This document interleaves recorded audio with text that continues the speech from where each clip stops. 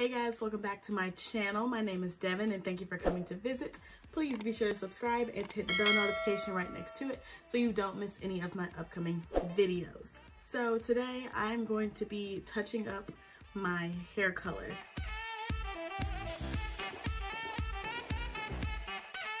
If you watched my last video where I had my silicone buildup, um, this is the results of my color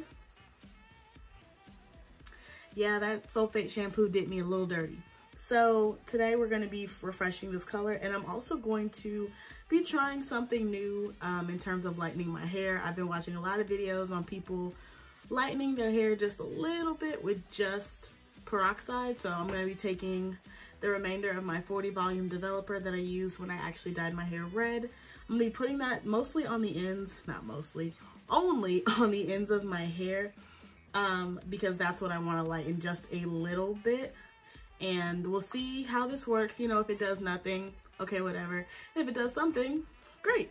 So I have my developer and I'm going to be using 40 volume today. I have my brush.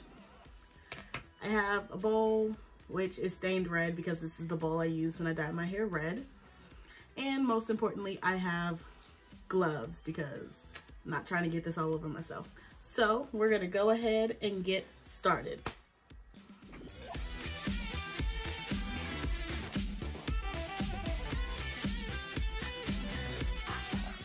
So now that my hair is down, I'm gonna start by parting it right down the center.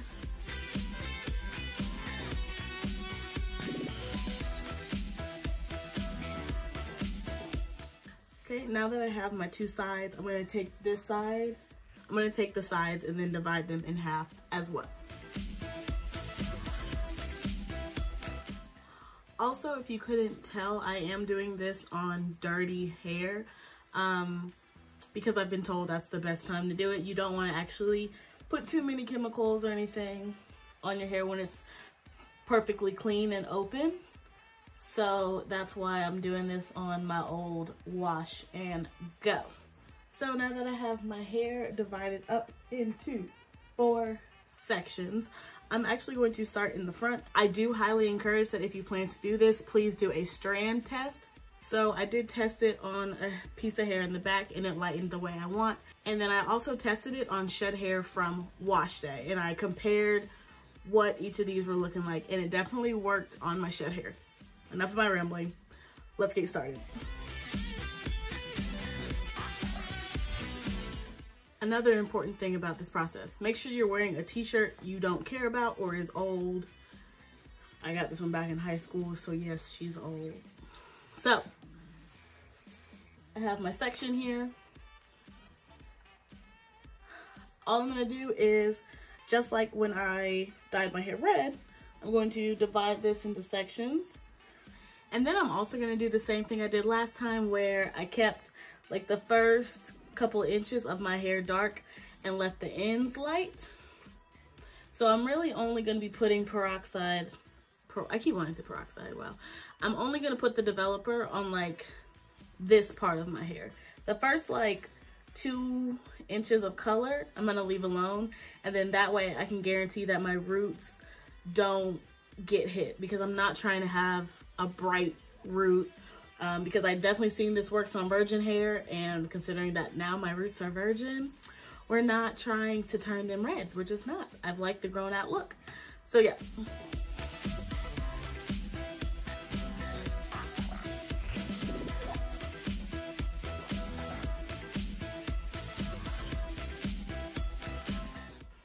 And when I'm doing this, I'm gonna be paying special attention to make sure that my hair is really, really saturated in this.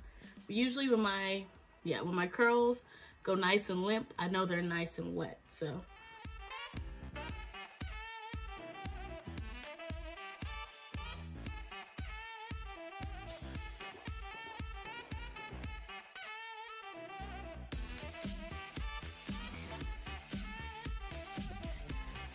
All right, so I quickly did the back of my head off camera and I used every single drop of developer I had. And now I'm going to put a plastic cap on my head And we're going to trap in all the heat from my head.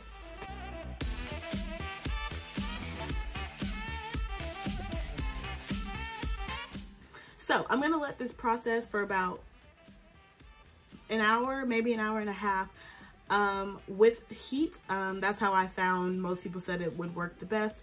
Once that's passed, I'm gonna show y'all how it looks before I rinse it out as well as after I rinse it out.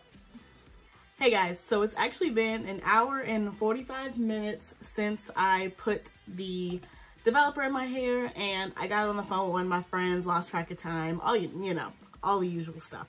So as promised, here is the look before I rinse it out. We looking red already. Oh yeah, I definitely think that's worked. Definitely think that worked.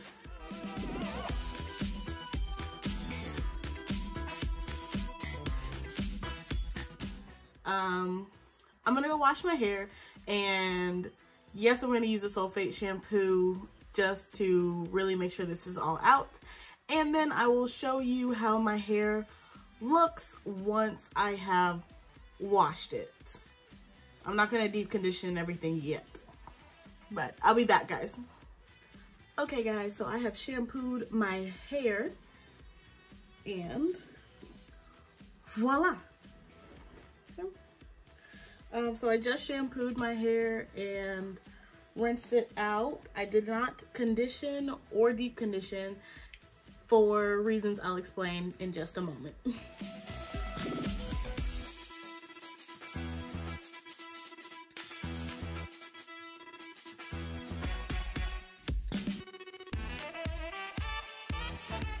okay guys, so this is the after, I guess you could say, of my hair.